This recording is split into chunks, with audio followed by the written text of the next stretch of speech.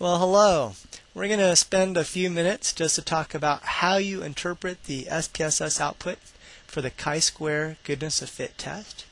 As you're aware, the chi-square goodness of fit test is applied when we're working with nominal uh, variables.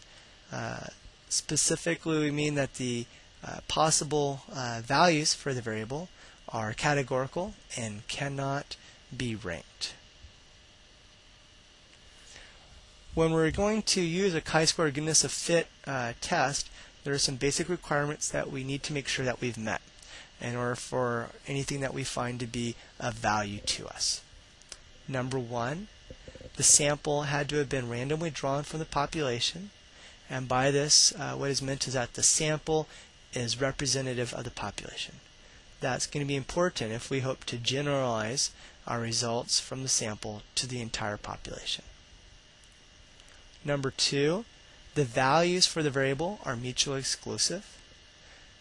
By this, I mean that uh, if our variable, for example, was uh, do you work, uh, the values for that variable could be yes and no. And those two values for the variable, do you work, yes and no, uh, they would fulfill this requirement in terms of being mutually exclusive. That is, either someone works or they don't. Uh, they couldn't do both. So our values for the variables must be mutually exclusive. Finally, our third requirement is that the minimum expectation of five uh, occurrences in each category. And let's uh, take a moment to look at that. Uh, in terms of our variable, do you work? And we'll actually be looking at this particular variable for this um, presentation. But for this variable, do you work? The values were yes and no. And those values represent categories. So we have a yes category and a no category. And this third requirement says that you have to expect at least five people for each category. So if I, for example, interviewed 10 people, I would need to expect five people to say yes, I work, and five people to say no. Um, if for some reason the expectation of uh, how many people would expect to say uh, yes or say no, that is, the number of people we expect to pick each particular value, if that should ever drop below 5, then the chi-square goodness of fit would not be as appropriate, perhaps as another statistical test, and the results may not be as valid. And we'll talk a little bit more about this as we go along. Well, uh, for this scenario, let's say we surveyed 20 students about whether they work. And in terms of our first requirement to do a chi-square goodness of fit test, we'll say that the sample was randomly drawn from the population. That is, our sample is representative of the population, and it would therefore be appropriate to generalize from the sample to the population as a whole. Our uh, survey, uh, let's say, had a question on it uh, Do you work? with the possible responses yes uh, and no. Uh, in terms of the second requirement for the goodness of fit test, these two uh, responses to the question do you work, yes and no, they are mutually exclusive. That is, someone would not select both of them, they would select one or the other. Then we have our null hypothesis. And the null hypothesis specifies the expected frequency for each category. So we interviewed uh, 20 people, and our null hypothesis then is what um, what would be expected uh, in terms of number of people who would say yes and number of people who would say no let's say an instructor, in terms of assigning homework, uh, has an assumption that, well, only half the students work.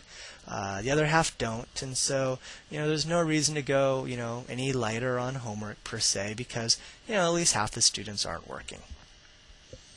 That might then be the null hypothesis, and of course the students in the class might be saying, well, hey, a lot of us work. Uh, and if that's the case, that would be the, the research hypothesis. So null hypothesis uh, would be assumption, oh, only half students work. And the research hypothesis might be the students saying, oh no, no, no, more than half of us uh, work. Um, certainly, it's not only half of us who work. With the research hypothesis, we look at the observed frequency. That is, we, for example, hand out a survey and then we observe what the responses will be. So uh, right now, you see question marks under the observed for yes, the observed for no, because the survey hasn't yet been handed out. Okay. Here you're taking a look at the uh, at the chi-square output, and of course in the SPSS Basics book it will show you the step-by-step process to get this chi-square output. But for now, we're just going to look and focus on the chi-square output itself. And looking at it, you'll see that there's two tables. Uh, the top table uh, shows us our descriptive statistics. That is, it helps us to describe the results for our particular sample. And you can see that 16 people said that uh, they work, and only 4 people said that they do not work. So our null hypothesis with that was that it's going to be a 50-50, uh, 10 saying yes, 10 saying no, and what we observed certainly did not match up with what was expected based upon the null hypothesis. The bottom table is the inferential statistics. That is, well, this difference that we observed between um, between the observed and the expected, this difference that we found, should we generalize from our sample to the entire population? That's what the inferential statistics is all about. You know, perhaps that uh, what we observed was just due to chance. So we'll also take a look at this bottom uh, table as well. Okay, so focusing on the top table, the descriptive statistics, you'll see that there's three columns uh, that are labeled, the observed uh, number, the expected number, and the residual. The observed number, as was mentioned, tells us what we observed uh, based upon our data collection. 16 people saying yes and 4 people saying no to the question, do you work? The expected n uh, is what we'd expect based upon the null hypothesis. And as you recall, the null hypothesis was that uh, only half the people would be working. So out of 20, uh, half would be 10 uh, who should say yes, and the other half, the other 10, would say no. Finally, the last column is residual, and that's the difference between the observed and the expected. So in terms of the people who said yes, we observed 16. Only 10 were expected to say yes. 6 more said yes than had been expected. In terms of the no response, we observed 4 people saying no. 10 people were expected to say no. We saw 6 less people than expected uh, saying no. So the residual is how big of a difference was there between what we observed and what was expected based upon the null hypothesis the larger the residual, the more confident we can be that this is a real difference and not just some chance fluctuation. You know, in terms of we happen to just pick a, a sample where more people work than normal or less than less people work than normal. So we want a big residual if we want to reject our null hypothesis.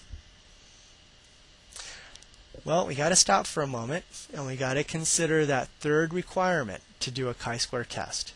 As you recall, the first requirement was random sampling uh, to achieve the goal of a representative sample to allow us to generalize to the population. The second requirement was that the values for our variable, our variable is do you work, our values were yes and no, that those values would be mutually exclusive. And the third requirement was that the expected value for each cell, that is each category, has to at least be 5. Uh, again, if it isn't 5, um, well, that can make our results uh, less uh, of value in terms of uh, making sense of the data. Uh, taking a look at our top table, we can see that the expected uh, number of people saying yes and the expected number of people saying no was 10 in both cases. Looking at the bottom table, at footnote A, it says zero cells have expected frequencies less than 5. That's good. We, uh, that means we're meeting that third requirement. In fact, the minimum expected cell frequency is 10. So it says you're clear to move forward. Okay, so looking at that bottom table more closely, uh, you'll see that there's three rows. There's the chi-square row, uh, which is the value of your chi-square analysis. Uh, there is the DF for degrees of freedom, and then there's ASIM significance, and that, that's our p-value. That top row, chi-square, and notice that I have a fancy looking x uh, squared, and uh, the value for the chi-square is 7.2. The larger that value, the more likely we'll be able to reject the null hypothesis. For degrees of freedom, it's equal to 1. And our degrees of freedom is calculated as the number of categories minus 1. Well, how many categories did we have? We had, uh, well, people could respond either yes or no. So we had two categories. So number of categories minus 1, we had two categories, 2 minus 1, that's 1. Our degrees of freedom is 1. And SPSS tells us that. Finally, the ASIMP significance, that's our p-value. That is, okay, so we observed a, a difference between uh, the expected and, and, the actual observed frequencies. What's the probability that could just be due to chance? Well, um, if there, if in the population of all students, half worked and half did not, and if we randomly sampled 20 students from that population, the probability of us getting 16 people saying, yes, I work, and 4 people saying, no, I don't, just due to chance, is 0.007. Less than 1%. A very small probability of this occurring due to chance. So if the null hypothesis was right, that really in the whole population, 50% people work and 50% people don't, we could get this sample with this large difference, but it would only happen due to chance 0.007 of the time. Uh, importantly, the probability of this happening due to chance, uh, 0.007, is less than or equal to our alpha level of 0.05. So we're going to be able to reject the null hypothesis. So the ASIMP significance, that's our p-value, and we want it to be less than 0.05. At the bottom of the screen, you'll see chi-square, 1, equal 7.20, p less than or equal to 0.05. And this information is written in this exact format. This is our APA format for how we would write up the result. And it is taken from that bottom table giving us our inferential statistics. We have chi-square. In parentheses, we put the degrees of freedom, which was 1. We say what it's equal to, and that's where we put in the actual chi-square value, and that was 7.20. In terms of probability, we're either going to say p less than or equal to 0.05, because 0.05 is our alpha level. And if p is less than or equal to 0.05, we get to reject the null, which is a wonderful thing, because that would only mean you get to publish your results. In this particular scenario, it means that the students could tell their instructor, hey, way more than half of us work. Please be kinder on the homework. The instructor might say, well, hey, this homework is very necessary for you to learn the material, but some negotiation could perhaps take place. If the uh, probability is greater than 0.05, well, then the probability is happening due to chance uh, is greater than the 0.05, and so we're not willing to say that it's a real thing, and in that case, we would retain the null. So a probability is less than or equal to 0.05, we reject. We say, ah, probability is happening due to chance is so small, I'm not going to go along with that possibility. Instead, I'll say something real is taking place. If probability is greater than 0.05, then we will retain that null hypothesis. Okay, and then here you can see how someone might write up the results of what we've been looking at in terms of the SPSS output. So we could say we sampled 20 students, right? We're letting our reader know how many people were in the survey. And that's going to be important uh, because we're dealing with frequencies here. Frequency of people who said yes and frequency of people who said no. So we sampled 20 students and evaluated whether the number of students who work, and there we're letting our reader know how many people work, f, because that's frequency, and notice that it's italicized, is equal to 16, was equal to the number of students uh, who do not work. And again, we have f, italicized, is equal to 4. So our first sentence says we sampled 20 students and evaluated whether the number of students who work, f equals 16, was equal to the number of students who do not work, f was equal to 4. That tells us what we were evaluating, uh, whether there was the same number of people who would work as who did not work. We also told our reader what we actually observed. 16 work, 4 do not. The data was analyzed using a chi-square goodness of fit test. Right? We're letting our reader know what statistical tests, what inferential statistical tests that is, that we use to analyze our data. The null hypothesis was rejected. And here we give our reader uh, the inferential uh, statistical test results. Chi-square, one degree of freedom, that's put in the parentheses, is equal to, and then the chi-square value, 7.20, comma, and then that p was less than or equal to 0.05 saying, hey, the probability of this was less than alpha, so again, we get to reject the null. Finally, our last sentence just puts it out there in, in everyday understandable English. More than half the students at the college also work. Okay, hope that this was helpful.